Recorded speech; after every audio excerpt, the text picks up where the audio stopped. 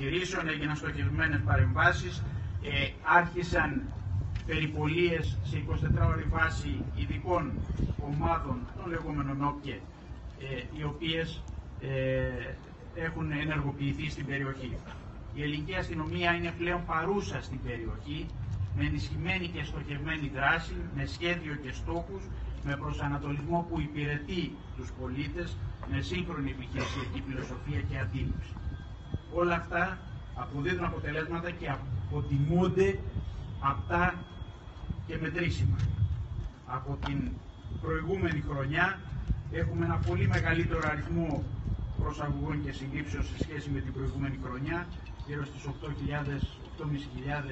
περισσότερες, περισσότερους ελέγχους και ε, παράλληλα το ίδιο έτος οι αστυνομικές υπηρεσίες κηρύχθηκαν 94 σημαντικές ε, υποθέσεις του κοινού και οργανωμένου εγκλήματος.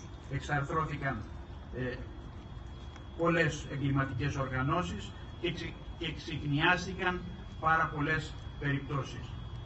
Ε, παράλληλα, στο πλαίσιο των εντατικών αστυνομικών δράσεων, σημαντικές ήταν οι επιτυχίες στον τομέα των ναρκωτικών, ε, καθώς οι αστυνομικές υπηρεσίες έχουν ε, καταφέρει σημαντικά πλήγματα στα κυκλώματα.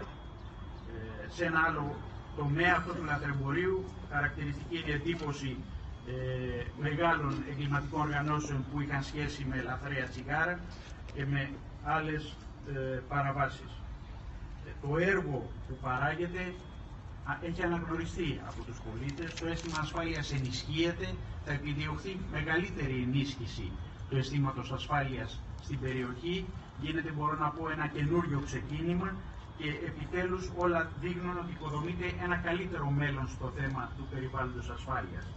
Ε, φυσικά μπορούν να γίνουν ακόμη περισσότερα και σε αυτή την κατεύθυνση θα χρειαστεί και υπάρχει ήδη, αλλά χρειάζεται να ενισχυθεί η συνεργασία με τους πολίτες. Οι παρεμβάσεις στην περιοχή θα λειτουργήσουν πολλαπλασιαστικά σε συνδυασμό με κοινωνικές δράσεις άλλων Υπουργείων και Φορέων, ώστε το αίσθημα ασφάλειας να εμπεδώνεται ακόμη περισσότερο χρόνο με το χρόνο προς όφελος των πολιτών. Είμαστε εδώ και είμαστε για να υπηρετούμε τους πολίτες.